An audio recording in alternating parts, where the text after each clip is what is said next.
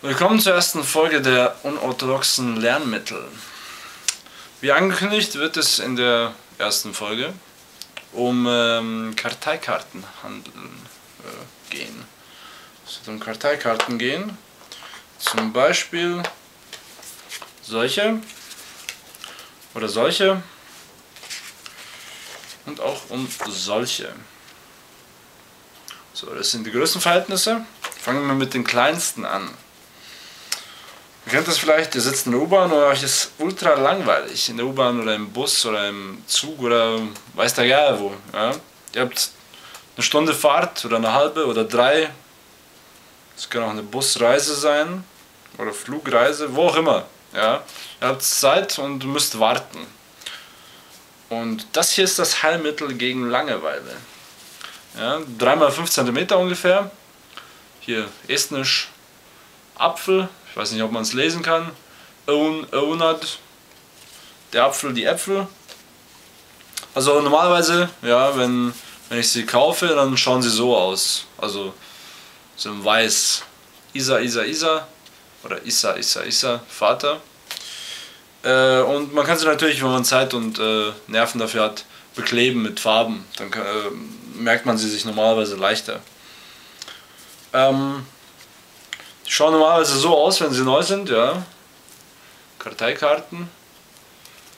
200 hm, Stück für circa, was war das, 1,50 Euro. Äh, weiter geht's mit, den, mit der mittleren Größe. Ich habe hier äh, russische, russische Wahrheitszeichenregeln, Regeln für I oder J, für Ö oder Ü und so weiter und so fort. Ja, passt alles schon drauf. Kann man auch ruhig ein, äh, grammatikalische Regeln draufschreiben. Auf die kleinen würde ich empfehlen, so maximal drei Vokabeln, wobei eins optimal ist, finde ich. Also eine Vokabel ist optimal.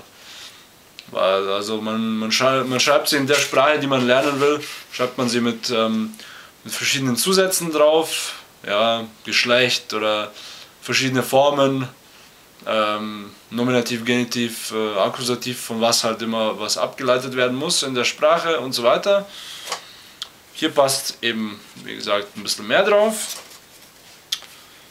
Hier haben wir auch ein bisschen Gebärden.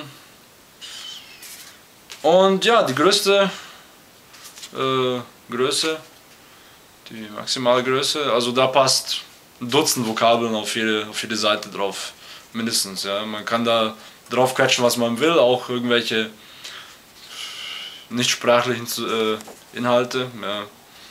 Für die Prüfung sehr zu empfehlen. So, äh, drei Fächersystem. Schöne estnischen Farben. Ähm, ihr lernt eine neue Vokabel, kommt ins erste Fach. Ihr fragt euch selber aus oder lasst euch ausfragen. Wenn ihr es gewusst habt, was es heißt, oder euch merken konntet, einfach ins zweite Fach. Wenn nicht, kommt, bleibt zum ersten Fach. Ähm, angenommen, ihr habt es gewusst, ja, fragt euch wieder aus, ein zweites Mal gewusst, kommt ins dritte Fach, wenn nicht, kommt ins erste Fach zurück. Ja. Und so könnt ihr das dann dreimal machen, wenn ihr es gewusst habt, ad acta legen. Ähm, hat sich bis jetzt als ähm, empfehlenswert erwiesen, diese Lernmethode. Ja, ich bin eigentlich schon fertig. Ähm, Bleibt mir gewogen, bis zum nächsten Mal und ich hoffe, ihr könnt das umsetzen. Danke fürs Zuschauen. Ahoi.